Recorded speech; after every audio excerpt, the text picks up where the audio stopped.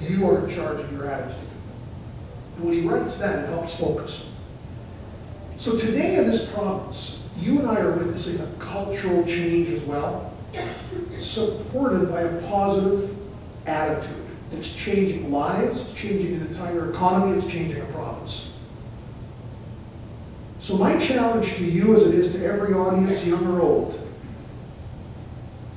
is can you use your power, influence, your persuasion, and your personality to help build the Saskatchewan attitude?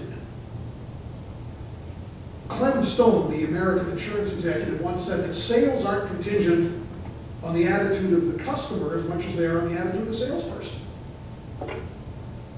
So are we up to being salespeople, spreading the Saskatchewan story, finding opportunity and sharing our success?